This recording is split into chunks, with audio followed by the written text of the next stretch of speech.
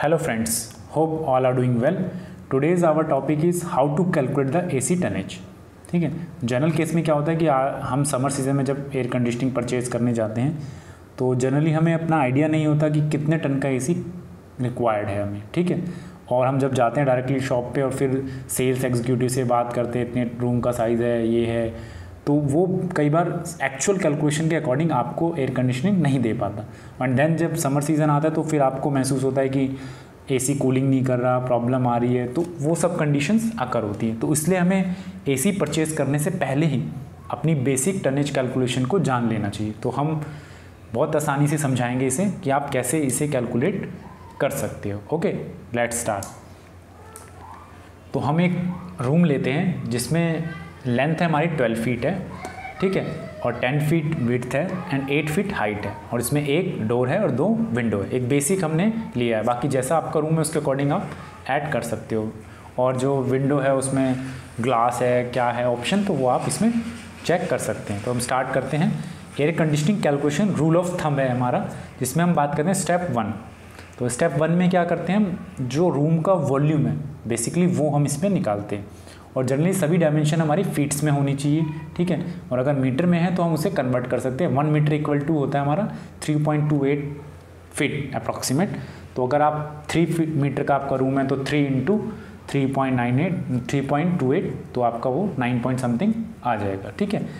तो हम करते हैं volume length with height ten length twelve with ten and height eight तो हमारा आंसर आएगा नाइन सिक्सटी क्यूबिक फीट ठीक है? उसके बाद स्टेप टू होता है हमारा, एक मल्टीप्लाई फैक्टर सिक्स है, ठीक है? इसको हम समझ सकते हैं six side of the room कैसे? First second third fourth and आपका रूफ एंड आपका फ्लोर ठीक है? तो सिक्स साइड हो गई तो ये सिक्स मल्टीप्लाई फैक्टर है।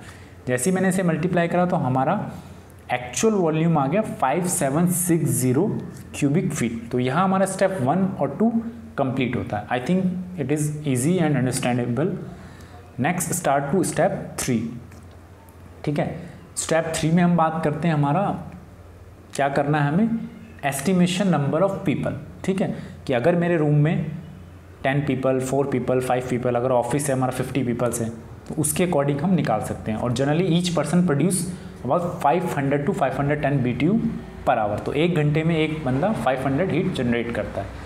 तो उसके अकॉर्डिंग हम इसे निकाल सकते हैं। तो मैंने यहाँ लिया formula C two volume two N into five hundred B T U per hour तो एन हमारा नंबर ऑफ़ पर्सन है। तो मैंने सिक्स पर्सन का लिया तो कितना हो गया? Three thousand B T U per hour then step fourth में हमें क्या करना है? C one and C two को ऐड करना है। And you will get a very simple cooling capacity needed for the room okay तो अब हमें C one and C two को ऐड करना जैसे ही मैंने ऐड किया तो आया मेरा eight seven six zero B T U per hour अब हमारा वन टन इक्वल टू कितना होता है? Twelve thousand B T U per hour बारह हज़ार बी टी यू होते हैं हमारे एक टन में। सिंपली जो एसी के टनेज होते हैं। दो टन हुआ तो चौबीस हज़ार B T U three ton हुआ तो छत्तीस हज़ार बी टी यू ठीक है? तो अगर मैं इसे ट्वेल्व थाउज़ेंड से डिवाइड कर दूँगा तो मेरा है पॉइंट सेवन थ्री टनेज ठीक है? तो इसमें हम पॉइंट सेवन फाइव भी यूज़ कर सकते हैं एसी और नहीं तो बेस्ट है कि हम वन टन का ए यूज़ करें। तो आपके बेसिक फैक्टर भी इसमें इंक्लूड हो जाएँगे। अब वन टन का हमने यहाँ पे सिलेक्ट कर लिया। बट उसके अलावा भी हमने अगर वन टन का परचेज करेंगे बट हो सकता है कि कुछ फैक्टर हमारे चेंज होते हैं। तो उनको भी हमें कंसिडर करना है। तो वो हम आगे नेक्स्ट स्लाइड में समझेंगे। फर्स्टली जैसे बी का है तो एक बेसिक मैं फंडा आपको बताता हूँ।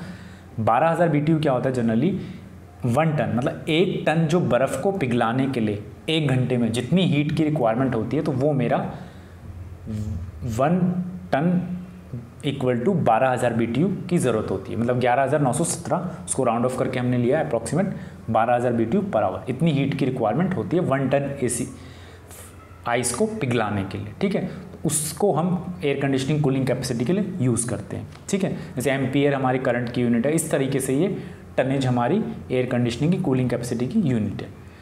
ओके और सेकंड पॉइंट है कि अगर हम एक ऐसे टिपिकली टेम्परेचर एरिया में रहते हैं जहाँ पे टेम्परेचर 40 टू 50 डिग्री क्रॉस करता है मीन्स 47, 46 जैसे जैसलमेर है हमारा चुरू है डिस्ट्रिक्ट ठीक है? और केरल साइड्स में हमारे कई सारे केरला ठीक है बेंगलोर तो कई जगह हमारे टेम्परेचर काफ़ी हाई होता है।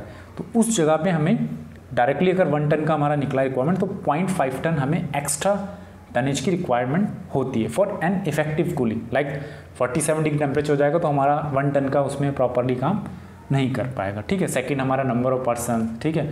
आपके घर में लाइट्स है, जैसे कि यहाँ कुछ फैक्टर्स हैं।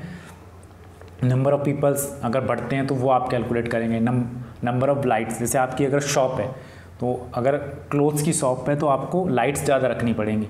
तो अगर लाइट ज़्यादा और आपने डेढ़ टन का लगा लिया अपनी शॉप में तो वो कूलिंग नहीं देगा। ठीक है नाइट टाइम में तो अगर लाइट आपको सारी जलानी पड़ेगी तो ज़्यादा हीट जनरेट होगी। तो इस तरीके जितने आपके फैक्टर्स हैं तो आपको उनके हिसाब से अपने टनेज को कैलकुलेट करना चाहिए। ठीक है? ग्लास है ग्लास रेडिएशन का फैक्टर्स हैं वॉल्स हैं। मान लो नंबर ऑफ़ वॉल्स के ऊपर भी डिपेंड करता है, ठीक है? छोटे छोटे रूम्स हैं आपके तो उसके ऊपर डिपेंड करता है। तो ये सारे फैक्टर आप कैलकुलेट करके उस टनेज में ऐड कर सकते हैं। And then you find out the actual tonnage requirement for your room shop and your area ठीक है। तो जैसे कि बेसिक है कि one ton equal to twelve thousand eighteen thousand one point five तो इस तरह से डायरेक्ट भी आप डिवाइड कर सकते हो, ठीक है। तो I think you understand the basic calculation of air conditioning and hope you understand if you have any query related to the tonnage calculation please on comment section and comment to me and thanks for watching our channel Nitya education thank you